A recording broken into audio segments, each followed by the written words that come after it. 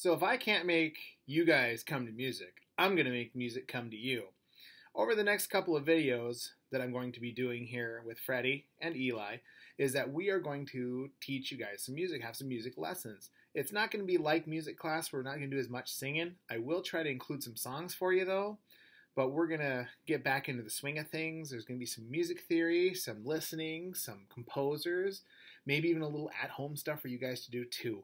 Um, I'm going to try to include most of the music and also links to any of the other stuff I use online so that you can uh, re- redo this stuff. You can also watch this video multiple times if you really don't get tired of me. Well, let's get started, shall we? Next activity we're doing is some rhythm work. I'm going to hold up some flashcards that have rhythm patterns on them. I'm going to go through what some of the terms are just so you remember. Um, and then what you'll have to do is get your own rhythm sticks. You could clap, you could snap, you could tap, uh, you could click your tongue if you really felt frisky, or you could say the words too. Or you could even get a pair of pencils. They work really well as rhythm sticks. They're not too terribly loud. They won't drive your mom too crazy, but it gives you a chance to participate as well, um, or any mix of what you want to do. So just to review some of the terms we've got, this guy by itself with one with just the stem and the note head, that's a ta, or a single quarter note, one beat. This guy with two of them stuck together, if you remember Freddy the Frog told you it's TT. How you can remember is that it comes up and it's got a connecting bar. Okay, it's called eighth notes. Two eighth notes is the same as one full beat. Okay, each one is half beat, half plus half is one. Okay, so this one would of course be ta, TT, ta, TT. Excellent. Okay, next one. Looks a little scary, but it's nothing to worry about. Okay, we know that this guy here is a ta. This one four pattern is tika tika. You know it's a tika tika because it has two bars that go across. See, one, two. Those are called uh, flags. And normally when you use four of them, you tie them together so they don't flap around in the breeze. So you've got tika tika ta, tika tika ta. Very good. Make sure you're saying them back to me. Don't just don't just sit there and stare at me. Okay, this next one. We've got a tika tika. We've got TT. This last one is a two count ta called a half note. It's two quarter notes glued together. So you'd go tika tika t t ta. Two beats. Very good. The next one will have a rhythm track backing it, like when we're done here. Okay, this one, again, looks scarier than it is. So we got ta, What's that? Good. Arrest. Yes, arrest. So this is one one click of nothing. No sound, no clicks, no pats, no nothing. Most times, especially my younger students, say shh during it. You're allowed to do that. Okay. But as you get older, you just don't say anything. So it would be ta, ta, or ta, shh, shh, ta. Make sure you're doing these too or back to me. Okay, let's see. This one. Oh, and another rule too. If I do this, they're still the same. Okay, this is still a ta. This is still a tt. Ta, tt. Upside down works just the same as right side up. So what we're going to do in the next section is I'm going to have a backing like tempo track, and I'm going to say them. I want you to do them back, and then we'll do them a couple times, and I'll switch them and switch them and switch them all these will be pretty easy, I think. All right, here we go. One, two, ready, go. Ta, ta, ta, ta. Ta, ta, ta, ta. One more time. Ta, ta, ta, ta. Ready, set, here you go. Ti, ti, ta, Ti ti ta. Ti ti ta, ti ti ta. One more. Ti ti ta, ti ti ta. Ready, set, here you go. Ta, sh, ta. Ta, ta. One more time. Ta, Good. Two, ready, and go. Ta, ti, ti, ta, ti, ti.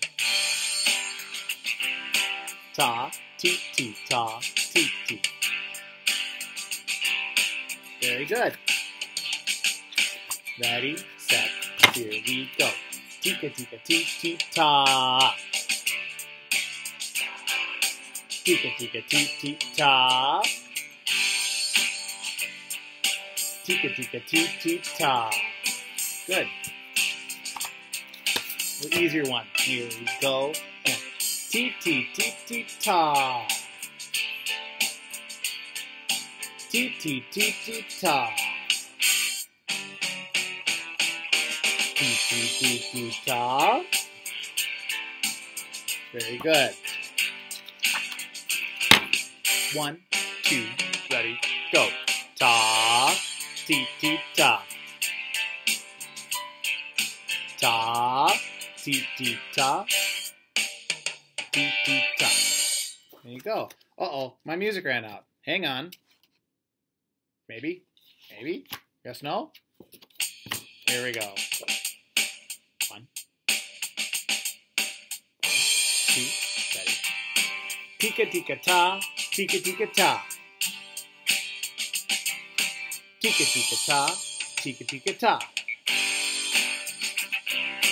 Tika tika ta. Tika tika ta.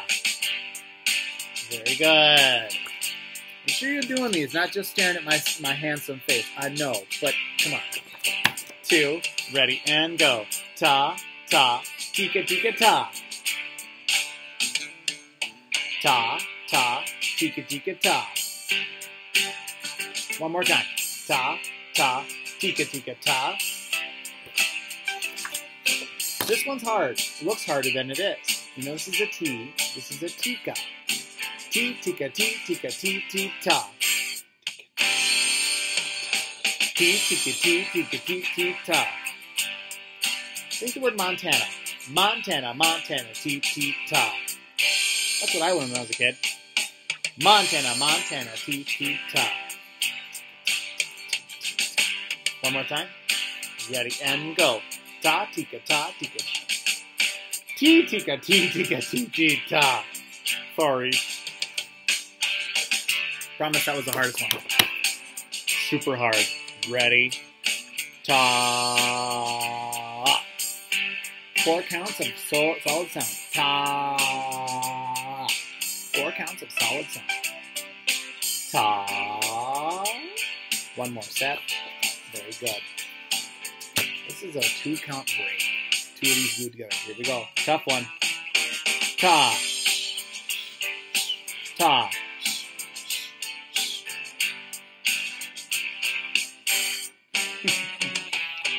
Last one.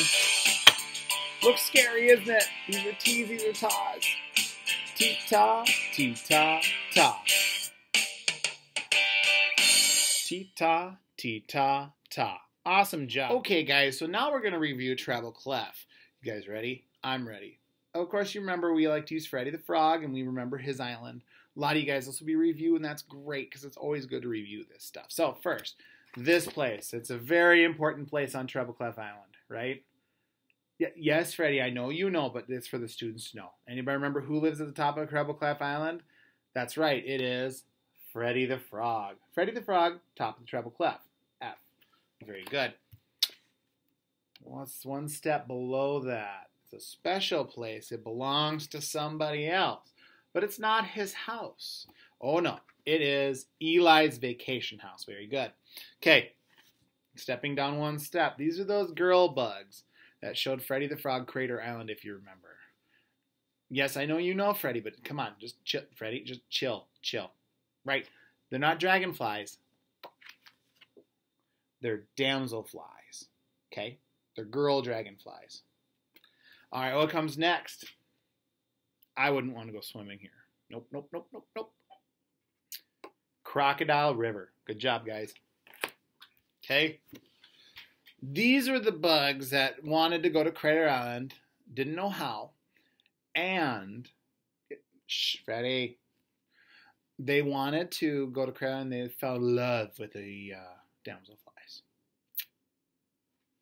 The blue beetle bugs. Also, you can remember the bridge too, because there's a bridge over the Crocodile River. Shh. We're teaching. okay. This is where Freddy first me- met Eli. Eli was thump, thump, thump, thump, thump, thump, thump, thumping around this area. Okay? These are pink flowers called azaleas. Very good. All right. Uh-oh, I'm missing a spot. Here we go. These were lizardy dudes. They wanted to eat those blue beetle bugs. Remember what they're called? Geckos. Very good. Now, when Freddy's parents go away, Freddy has to stay somewhere, and he can't sleep at Eli's house, not because it might squish Freddy. So, anybody remember it is Freddy's vacation home. Very good.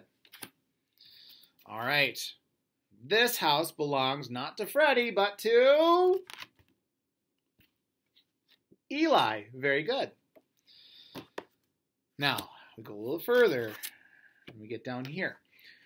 We also know this place as D Dangles, but this is also known as, especially in Freddy the Frog, is Dolphin Bay. They were trying to get to Crater Island. They used the dolphins to pull to pull the raft to get them to Dolphin Bay or Crater Island. They used the dolphins. Okay, I know there's one more Freddy. Okay, this is that island in the middle of the sea, also known as Middle Sea. Okay, because it's in between the treble and bass clef. We call it middle. It's the middle of the sea. Freddy the Frog knows it as Crater Island. Okay, yeah. That's your review of treble clef. What you want to remember is Ernie, or sorry, there's lots of ways to remember, but it's E, G, B, D, F. And I'll put a link to that video from the we watched in class. E, G, B, D, F. I like to use Ernie gave Bert dead fish. You can use evil gummy bears destroy Fargo. You can use whatever you want as long as it makes sense. Next video will be bass clef.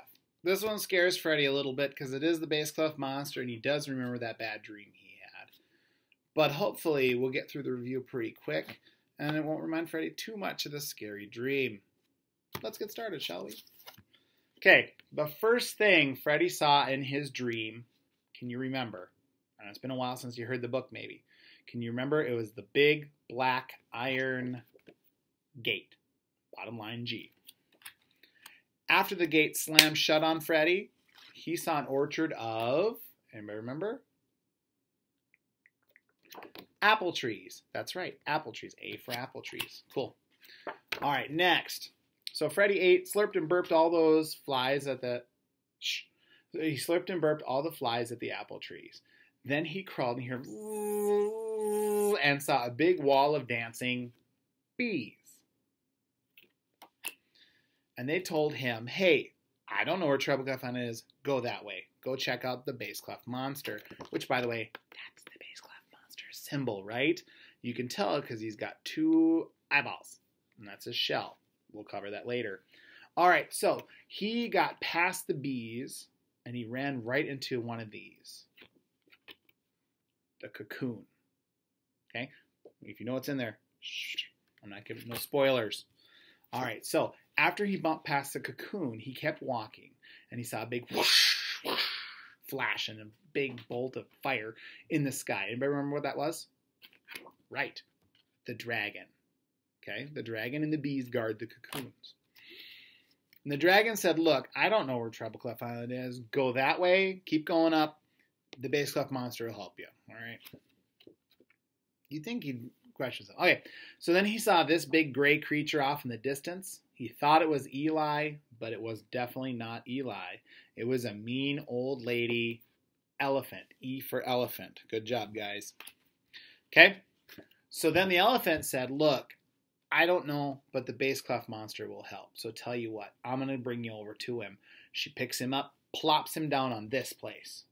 The bass clef monster always, always watches this place. Remember what it is? The frog log. Very good.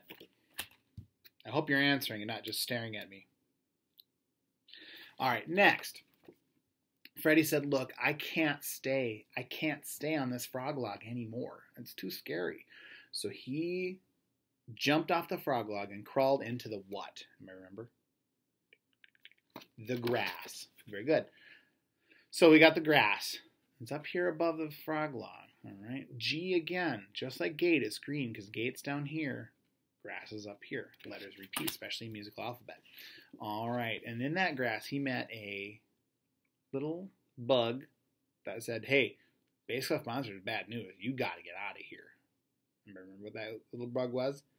Annie the ant. Great. Now this one is technically in Treble Clef Island, but I think that's where the bass clef monster lives because the last thing you see, of course, in the book is the bass clef monster.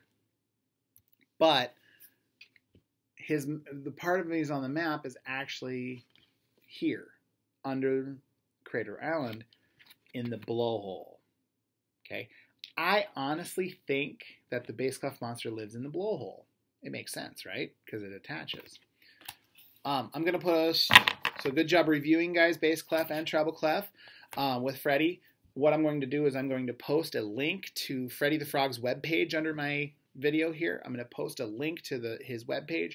You can check out games, you can check out coloring pages.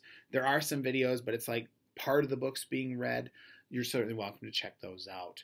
Um, Good job. And now the singing portion of our program. Our song selection today is called Big World, Small World by Teresa Jennings from the Music K8 magazine. Uh, credits down below just to make sure I'm doing everything all right. Please make sure you sing along with us today.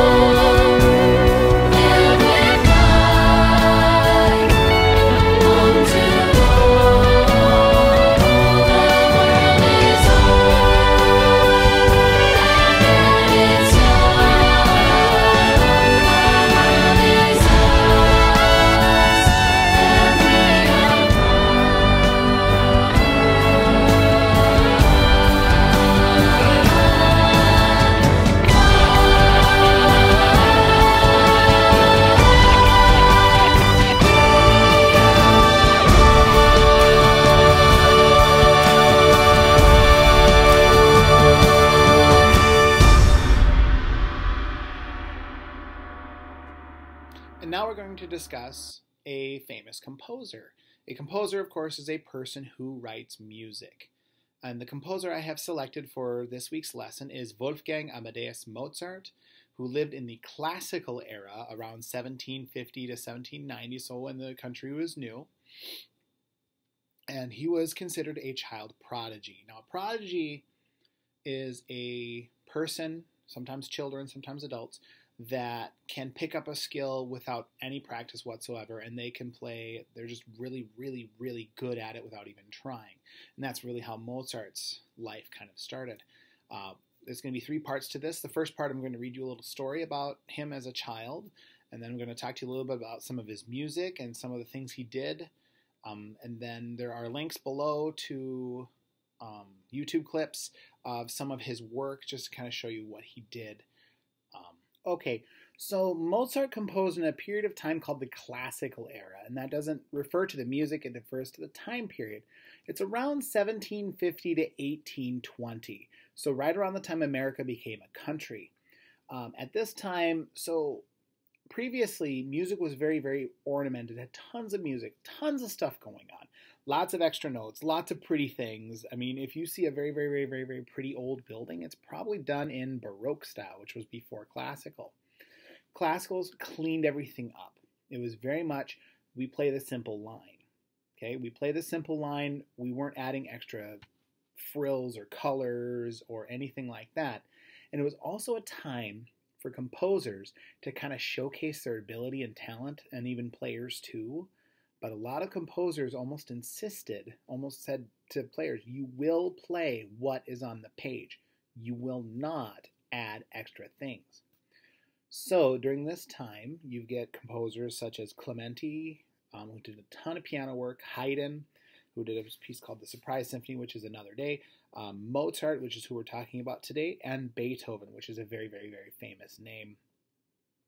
Um, also during this time, um, a lot of Greek and Roman architecture comes back because the the people loved the elegance. They liked the smooth columns. They liked the the clean lines. They really wanted it to be pristine. So composers and artists all had to focus on the cleanliness of art. Instead of having a bunch of stuff happening, it was very much simple. The simple landscapes, the simple portraits, stuff like that. Um, but musically, same thing happened because it all kind of goes hand in hand a lot of composers kept it very simple. Okay. Now, it doesn't to say it wasn't hard music or wasn't good listening music, but they kept it without frills. But they also wanted to show off how good they were. So music would be complex and lots of notes, but it wasn't overly pretty.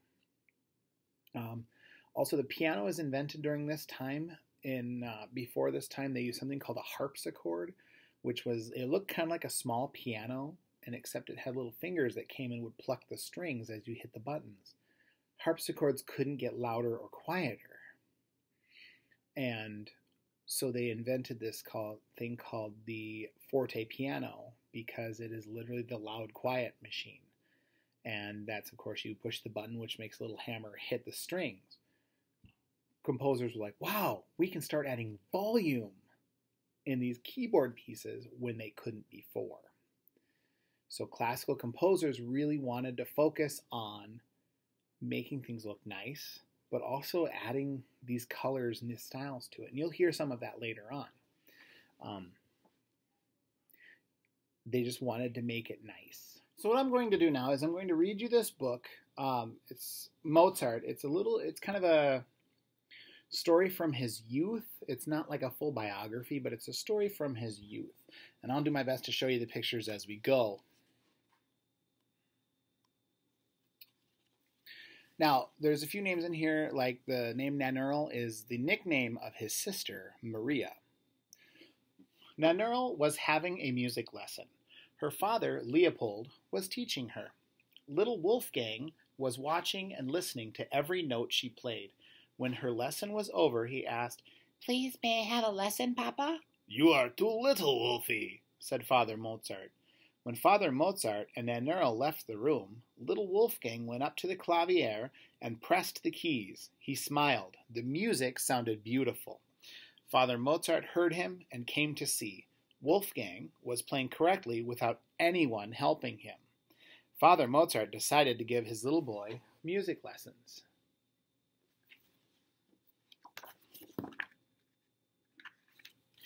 Soon, Wolfgang was playing as well as his big sister Nannerl.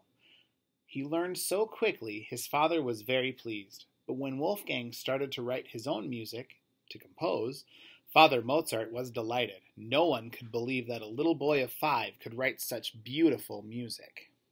Now, Father Mozart decided to take his two bright children on a concert tour to Munich, Germany. It was a long trip. Inside the coach, it was very bumpy, but still, they had to work. Father Mozart made them practice on a make believe keyboard. As soon as they arrived in Munich, people began to talk about the talented little Mozart children. Dressed in their best clothes, they played for Prince Joseph. The concert was a huge success. Everyone clapped and gave them presents of jewels and lace. Father Mozart was very proud of them. One large lady was so excited she ran over to the little boy, picked him up in her arms, and gave him a loud, sloppy kiss. Yuck! said Wolfgang as he wiggled away and wiped his face. Back home in Salzburg, Austria, Wolfgang was so pleased to see his mother and his funny little dog, Bimperl. He had missed them very much. Wolfgang hugged, hugged Bimperl and then wrote a little minuet to celebrate his return. It was January 1762, just days before his sixth birthday. A few days later, Father Mozart gave Wolfgang a present. It was a little violin. That night, when Papa's friends arrived carrying their own instruments, Wolfgang ran to get his own little fiddle. But Papa shook his head. No, Wolfgang, you cannot possibly play with us until you've had some lessons and lots of practice. Wolfgang burst into tears.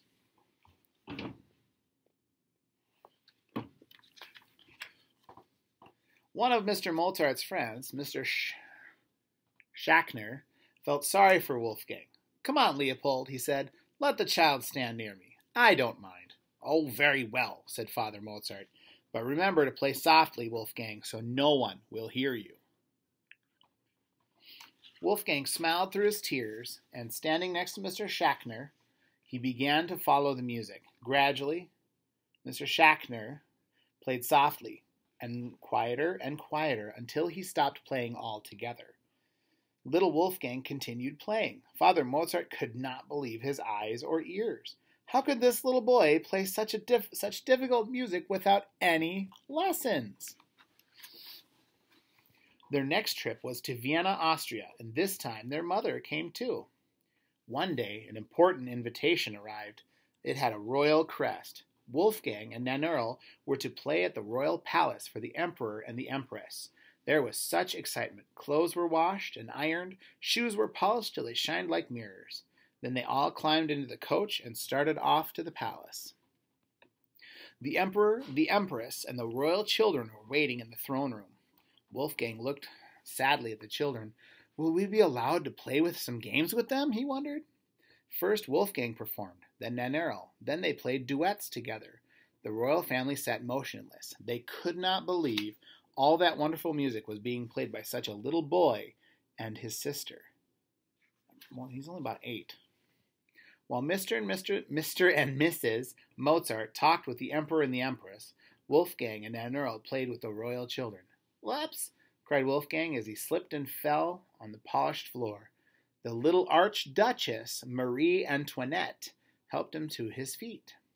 You are very kind, said the little boy. When I grow up, I will marry you. After the children had gone home, their hands filled with gifts from the Empress, and the Emperor stroked his chin. What a smart little boy! We must invite them again. I will test him a little. I would like to see if he's as good as he seems.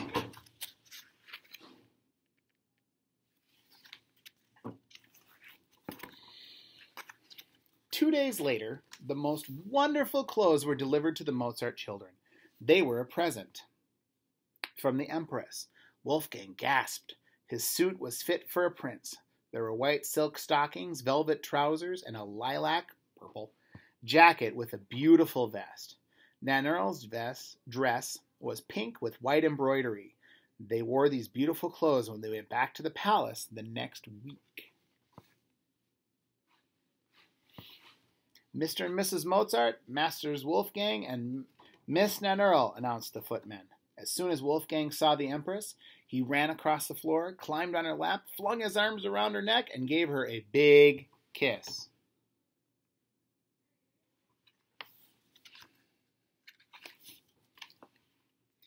What are you gonna what are you going to play, little one? asked the Emperor, smiling. I shall play my Allegro in B flat major, Wolfgang replied. He slid off the Empress's knee and ran over to the clavier. Very good, said the Emperor, but first of all, I wish to place this over the keys. And he held up a large black cloth. Mozart sighed. It made no difference to him. He could play the clavier without looking at the keys. The Emperor put the black cloth over the keyboard. Wolfgang placed his hands on the cloth and played his allegro perfectly. Well done, cried the emperor and the empress. So they were testing him. Father Leopold took Nannerl and Wolfgang to many different countries. One trip lasted three years and five months. Wherever they went, they gave concerts. Everyone admired them and gave him presents. They called Wolfgang Mozart the Wonder Boy. Wolfgang grew up to become one of the greatest composers of all time. Even today, people all over the world love to perform and to listen to his wonderful music.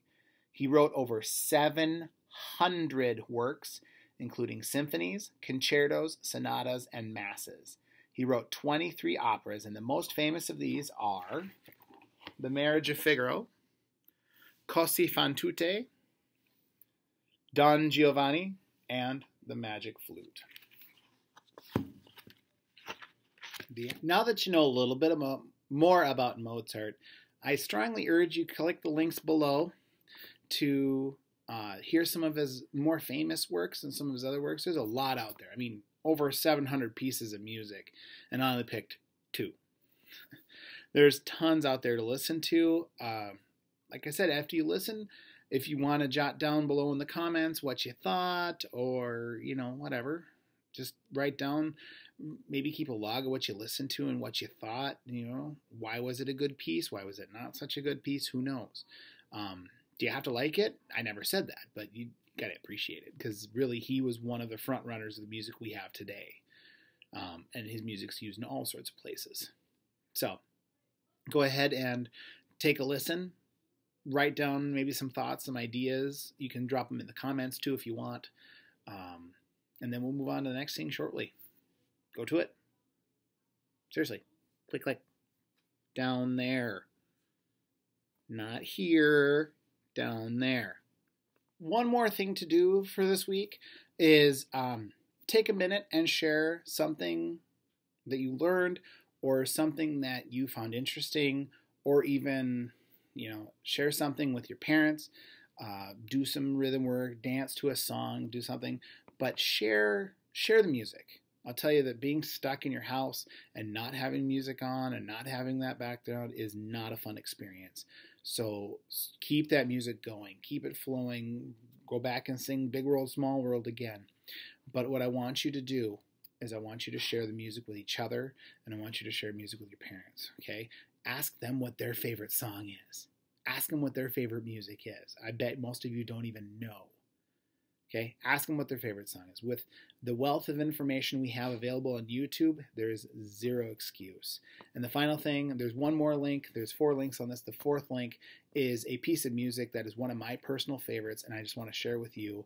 It's not necessarily Mozart, but it's just one of my favorite pieces of music, and I want to share it with you guys. So I hope you have a wonderful week, and uh, check back frequently for more of these. Catch Gonna end with two jokes today. I know I lost a sweater, but it's hot. Okay, two jokes. First one: What's a chicken's favorite composer? Bach, Bach, Bach, Bach, Bach, Bach. Wah, wah. And the second one, I heard from a friend of mine. I loved it. I said, "Why can't you write with a broken pencil?" Because it's pointless.